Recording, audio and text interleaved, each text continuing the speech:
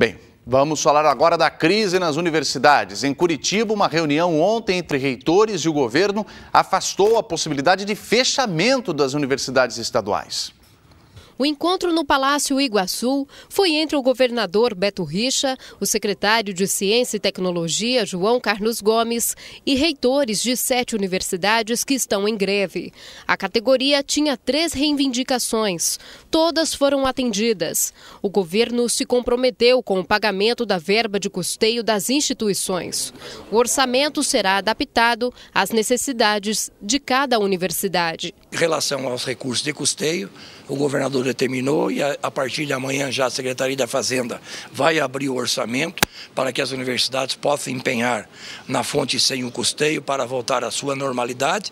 E os custeios serão liberados é, dentro de todas as necessidades das universidades, na fonte 100, que é a fonte do governo do Estado, além do orçamento da, da, fonte de recurso próprio e da fonte de convênios. Então, na realidade, os recursos serão liberados, os suficientes para que as universidades possam voltar às, às suas atividades normais.